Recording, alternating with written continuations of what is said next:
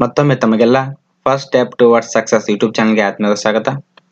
ಇವತ್ತಿನ ವಿಡಿಯೋದಲ್ಲಿ ನಾವು ವಿಜ್ಞಾನ ಮತ್ತು ತಂತ್ರಜ್ಞಾನದ ಪ್ರಮುಖ ಪ್ರಶ್ನೋತ್ತರಗಳನ್ನು ನೋಡೋಣ. ಈ ಭಾಗ ಒಂದರಲ್ಲಿ ಪ್ರಮುಖ ಇಪ್ಪತ್ತೈದು ಪ್ರಶ್ನೋತ್ತರಗಳನ್ನು ನೋಡೋಣ. ಈ ಪ್ರಶ್ನೋತ್ತರಗಳು ಎಲ್ಲ ರೀತಿಯ ಸ್ಪರ್ಧಾತ್ಮಕ ಪರೀಕ್ಷೆಗಳಿಗೆ ಅತ್ಯಂತ ಉಪಯುಕ್ತ ಆಗಿವೆ. ಎಲ್ಲ ಪರೀಕ್ಷೆಗಳಲ್ಲಿ ವಿಜ್ಞಾನ ಮತ್ತು ತಂತ್ರಜ್ಞಾನಕ್ಕೆ ಸಂಬಂಧಿಸಿದಂತ ಹಲವಾರು ಪ್ರಶ್ನೆಗಳನ್ನು ಕೇಳಿರ್ತಾರೆ. ಆದ್ದರಿಂದ ದಯವಿಟ್ಟು ಈ ವಿಡಿಯೋನ ಸಂಪೂರ್ಣವಾಗಿ ನೋಡಿ. ದಯವಿಟ್ಟು ಸ್ಕಿಪ್ ಮಾಡ್ಕೋಬೇಡಿ. ವಿಡಿಯೋನ ಪ್ರಾರಂಭಿಸೋಣ. ವಿಡಿಯೋ ಪ್ರಾರಂಭಿಸುವ ಮೊದಲು ನನ್ನ ಚಾನಲನ್ನು ಇನ್ನೂ ಯಾರು ಸಬ್ಸ್ಕ್ರೈಬ್ ಆಗಿಲ್ಲ, ದಯವಿಟ್ಟು ಚಾನಲನ್ನು ಸಬ್ಸ್ಕ್ರೈಬ್ ಆಗಿ ಪಕ್ಕದಲ್ಲಿರೋ ಬೆಲ್ ಬಟನ್ ಕ್ಲಿಕ್ ಮಾಡೋ ಮೂಲಕ ನಾನು ಅಪ್ಲೋಡ್ ಮಾಡೋ ವಿಡಿಯೋಗಳ ನೋಟಿಫಿಕೇಶನ್ ಪಡೆಯಿರಿ. ಪ್ರಶ್ನೆ ಒಂದು, ಪರಮಾಣುವಿನ ಧನ ವಿದ್ಯುದಂಶ ಹೊಂದಿರುವ ಕಣ ಯಾವುದು? ಉತ್ತರ, ಪ್ರೋಟಾನ್. ಪ್ರಶ್ನೆ ಎರಡು. ಪರಮಾಣುವಿನ ಋಣ ವಿದ್ಯುದಂಶ ಹೊಂದಿರುವ ಕಣ ಯಾವುದು? ಉತ್ತರ, ಎಲೆಕ್ಟ್ರಾನ್ ಆಗಿದೆ. ಪ್ರಶ್ನೆ ಮೂರು. ಪರಮಾಣುವಿನ ವಿದ್ಯುತ್ ಆವೇಶರಹಿತ ಕಣ ಯಾವುದು? ಉತ್ತರ, ನ್ಯೂಟನ್ ಆಗಿದೆ. ಗೆಳೆಯರೆ, ಈ ಪ್ರಶ್ನೆಗಳನ್ನ ನಾನು ಸೇಲೋಸ್ ಕೇಳಿದ್ರೆ ಯಾಕಪ್ಪ ಅಂದ್ರೆ, ಈ ಕುರಿತು ಪ್ರಶ್ನೆಗಳು ಹಲವಾರು ಪರೀಕ್ಷೆಯಲ್ಲಿ ಕೇಳುತ್ತಾರೆ ಧನ ವಿದ್ಯುತ್ ಅಂಶವನ್ನು ಪ್ರೋಟಾನ್ ಹೊಂದಿರುತ್ತದೆ. ಋಣ ವಿದ್ಯುತ್ ಅಂಶವನ್ನು ಎಲೆಕ್ಟ್ರಾನ್ ಹೊಂದಿರುತ್ತದೆ. ಅದೇ ರೀತಿ ವಿದ್ಯುತ್ ಆವೇಶರಹಿತ ಕಣ ನ್ಯೂಟ್ರಾನ್ ಆಗಿರುತ್ತದೆ. ಪ್ರಶ್ನೆ ನಾಲ್ಕು ಆವರ್ತ ಕೋಷ್ಟಕದ ಬೆನ್ನೆಲುಬು ಅಂತ ಯಾವುದನ್ನು ಕರೆಯಲಾಗುತ್ತದೆ? ಉತ್ತರ ಆವರ್ತ ಕೋಷ್ಟಕದ ಬೆನ್ನೆಲುಬು ಎಲೆಕ್ಟ್ರಾನ್ ವಿನ್ಯಾಸ ಆಗಿರುತ್ತದೆ. ಪ್ರಶ್ನೆ ಐದು ಎಲೆಕ್ಟ್ರಾನ್ಗಳ ಸಂಶೋಧಕರು ಯಾರು? ಉತ್ತರ, ಈ ಎಲೆಕ್ಟ್ರಾನ್ಗಳ ಸಂಶೋಧಕರು ಜೆ ಜೆ ಥಾಮ್ಸನ್ ಆಗಿರುತ್ತಾರೆ. ಪ್ರಶ್ನೆ ಆರು ಪ್ರೋಟಾನ್ಗಳ ಸಂಶೋಧಕರು ಯಾರು? ಉತ್ತರ, ರುದರ್ ಫೋರ್ಡ್. ಪ್ರಶ್ನೆ ಏಳು, ನ್ಯೂಟ್ರಾನ್ಗಳ ಸಂಶೋಧಕರು ಯಾರು? ಉತ್ತರ, ಜೇಮ್ಸ್ ಚಾಡ್ವಿಕ್. ಗೆಳೆಯರೆ, ನಮಗೆ ನೆನಪು ಇರಲಿ ಅಂತ ನಾನು ಸೀರಿಯಲ್ ಆಗಿ ಇವುಗಳ ಸಂಶೋಧಕರ ಬಗ್ಗೆ ನಿಮಗೆ ಇಲ್ಲಿ ಪ್ರಶ್ನೆಯನ್ನು ಕೇಳ್ತೇನೆ ಪ್ರಶ್ನೆ ಎಂಟು, ಪರಮಾಣು ಸಿದ್ಧಾಂತದ ಪ್ರತಿಪಾದಕರು ಯಾರು? ಉತ್ತರ ಪರಮಾಣು ಸಿದ್ಧಾಂತದ ಪ್ರತಿಪಾದಕರು ಜಾನ್ ಡಾಲ್ಟನ್ ಆಗಿದ್ದಾರೆ. ಪ್ರಶ್ನೆ ಒಂಬತ್ತು, ಮಾನವನ ತಲೆ ಬುರುಡೆಯಲ್ಲಿರುವ ಮೂಳೆಗಳ ಸಂಖ್ಯೆ ಎಷ್ಟು?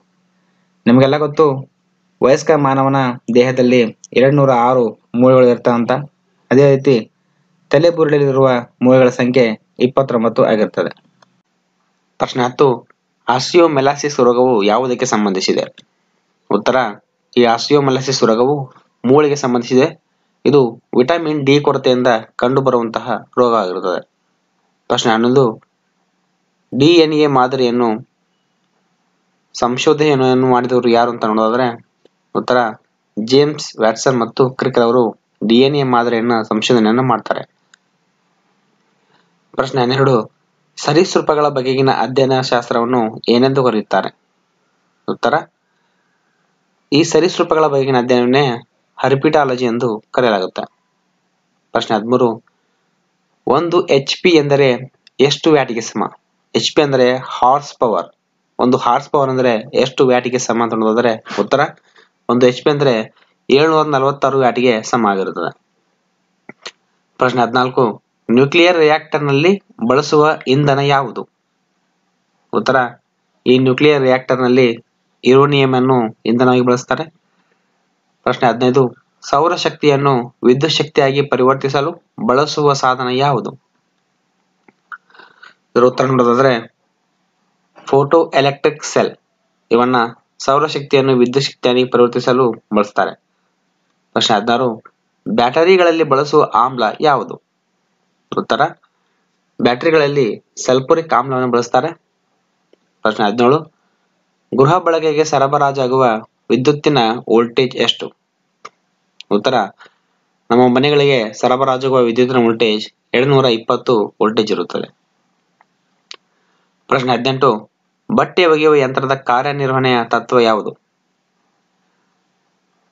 ಈ ವಾಷಿಂಗ್ ಮಿಷಿನ್ ಯಾವ ತತ್ವದ ಮೇಲೆ ಕಾರ್ಯನಿರ್ವಹಣೆ ಮಾಡ್ತಪ್ಪ ಅಂತ ನೋಡಿದ್ರೆ ಉತ್ತರ ಅದು ಕೇಂದ್ರತ್ತಾಗಿ ತತ್ವದ ಮೇಲೆ ಈ ಯಂತ್ರ ಕಾರ್ಯನಿರ್ವಹಣೆ ಮಾಡುತ್ತೆ ಪ್ರಶ್ನೆ ಹತ್ತೊಂಬತ್ತು, ಬೆಟ್ಟ ಹತ್ತುವಾಗ ವ್ಯಕ್ತಿ ಮುಂದಕ್ಕೆ ಬಾಗಲು ಕಾರಣವೇನು? ನಾವು ಯಾವುದೇ ಎತ್ತರ ಪ್ರದೇಶವನ್ನು ಇರುವಾಗಲಿ, ಅದು ಬೆಟ್ಟ ಅಂತ ತೆಗೆದುಕೊಳ್ಳಿ, ಆ ಎತ್ತರ ಪ್ರದೇಶ ಇರುವಾಗ ನಾವು ಸ್ವಲ್ಪ ಮುಂದಕ್ಕೆ ಬಾಗ್ತೇವೆ. ಇದಕ್ಕೆ ಕಾರಣ ಏನಂತಪ್ಪ ನೋಡಿದ್ರೆ ಇದಕ್ಕೆ ಉತ್ತರ, ದೇಹದ ಸಮತೋಲನವನ್ನು ಕಾಪಾಡಿಕೊಳ್ಳಲು ವ್ಯಕ್ತಿ ಮುಂದೆ ಬಾಗ್ತಾನೆ. ಪ್ರಶ್ನೆ ಇಪ್ಪತ್ತು, ಅತ್ಯಂತ ದುರ್ಬಲವಾದ ಮೂಲಭೂತ ಬಲ ಯಾವುದು? ಉತ್ತರ, ಅತ್ಯಂತ ದುರ್ಬಲವಾದ ಮೂಲಭೂತ ಬಲ ಗುರುತ್ವಾಕರ್ಷಣ ಬಲ ಆಗಿರುತ್ತದೆ. ಪ್ರಶ್ನೆ ಇಪ್ಪತ್ತೊಂದು ವಸ್ತುವಿನ ತೂಕವು ಧ್ರುವಗಳಲ್ಲಿ ಹೆಚ್ಚಾಗಿರಲು ಕಾರಣವೇನು? ಉತ್ತರ, ಸಮಭಾಜಕ ವೃತ್ತಕ್ಕಿಂತ ಧ್ರುವಗಳಲ್ಲಿ ಗುರುತ್ವ ಬಲ ಹೆಚ್ಚಿರುವುದರಿಂದನೇ ಸಮಭಾಜಕ ವೃತ್ತಕ್ಕಿಂತ ಈ ಧ್ರುವಗಳಲ್ಲಿ ಅತ್ಯಂತ ಗುರುತ್ವ ಹೆಚ್ಚಿದ ಕಾರಣ ಆ ವಸ್ತುವಿನ ತೂಕ ಹೆಚ್ಚಾಗಿರುತ್ತದೆ. ಪ್ರಶ್ನೆ ಇಪ್ಪತ್ತೆರಡು, ಭಾರತದಲ್ಲಿ ರಾಕೆಟ್ಗಳನ್ನು ಪೂರ್ವ ಕರಾವಳಿಯಿಂದ ಉಡಾಯಿಸಲು ಕಾರಣವೇನು? ಉತ್ತರ, ಭೂಮಿಯು ಪಶ್ಚಿಮದಿಂದ ಪೂರ್ವಕ್ಕೆ ಪರಿಭ್ರಮಿಸುತ್ತದೆ. ಇದೆಲ್ಲ ನಿಮ್ಗೆ ಗೊತ್ತಿರೋ ವಿಷಯ. ಆದ್ದರಿಂದ ಅದು ಉಪಗ್ರಹದ ವೆಲಾಸಿಟಿಯನ್ನು ಹೆಚ್ಚಿಸುತ್ತದೆ. ನಮಗೆಲ್ಲ ಗೊತ್ತಿರೋ ಹಾಗೆ ನಮ್ಮ ಭಾರತದ ರಾಕೆಟ್ಗಳನ್ನು ಆಂಧ್ರ ಪ್ರದೇಶದ ಶ್ರೀ ಸತೀಶ್ ದೇವನ್ ಉಡಾವಣಾ ಕೇಂದ್ರದಿಂದ ಉಡಾವಣೆ ಮಾಡಲಾಗ್ತದೆ. ಪ್ರಶ್ನೆ ಇಪ್ಪತ್ಮೂರು. ಮೃದು ಪಾನೀಯಗಳಲ್ಲಿ ಯಾವ ಆಮ್ಲವನ್ನು ಉಪಯೋಗಿಸುವರು? ಉತ್ತರ, ಈ ಮೃದು ಪಾನೀಯಗಳಲ್ಲಿ ಕಾರ್ಬನಿಕ್ ಆಮ್ಲವನ್ನು ಉಪಯೋಗಿಸ್ತಾರೆ.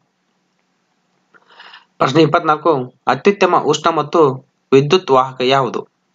ಉತ್ತರ, ಬೆಳ್ಳಿ. ಈ ಬೆಳ್ಳಿಯು ಅತ್ಯಂತ ಉತ್ತಮ ಉಷ್ಣ ಮತ್ತು ವಿದ್ಯುತ್ ವಾಹಕವಾಗಿರುತ್ತದೆ. ಪ್ರಶ್ನೆ ಇಪ್ಪತ್ತೈದು, ಮಣ್ಣಿನಲ್ಲಿ ಯಾವ ಅಂಶದ ಕೊರತೆಯಿಂದ ಸಸ್ಯಗಳ ಎಲೆಗಳು ಹಳದಿ ಬಣ್ಣಕ್ಕೆ ತಿರುಗಿ ಉದುರುತ್ತವೆ? ಉತ್ತರ, ಈ ಮಣ್ಣಿನಲ್ಲಿ ರಂಜಕದ ಅಂಶ ಕೊರತೆಯಿಂದ ಸಸ್ಯಗಳ ಎಲೆಗಳು ಹಳದಿ ಬಣ್ಣಕ್ಕೆ ತಿರುಗಿ ಉದುರುತ್ತವೆ? ಗೆಳೆಯರ, ಇಲ್ಲಿ ತನಕ ನಾವು ಪ್ರಮುಖ ಇಪ್ಪತ್ತೈದು ಪ್ರಶ್ನೆಗಳು ನೋಡಿದ್ವಿ. ಮುಂದೆ ನೋಡೋದಲ್ಲಿ ಇನ್ನುಳಿದ ಪ್ರಮುಖ ಇಪ್ಪತ್ತೈದು ಪ್ರಶ್ನೋತ್ತರಗಳನ್ನು ಭೇಟಿ ಆಗ್ತೇನೆ. ಐ ಹೋಪ್ ತಮಗೆ ಈ ವಿಡಿಯೋ ಇಷ್ಟ ಆಗಿದೆ ಅನ್ಕೋತೇನೆ. ಇಷ್ಟ ಆಗಿದ್ದಲ್ಲಿ ದಯವಿಟ್ಟು ವಿಡಿಯೋನ ಲೈಕ್ ಮಾಡಿ ಶೇರ್ ಮಾಡಿ, ಆದಷ್ಟು ಸಬ್ಸ್ಕ್ರೈಬ್ ಮಾಡಿ. ಮತ್ತೊಮ್ಮೆ ವಿಡಿಯೋನ ವೀಕ್ಷಿಸಿದ ತಮಗೆಲ್ಲ ಧನ್ಯವಾದಗಳು. ನಮಸ್ಕಾರ.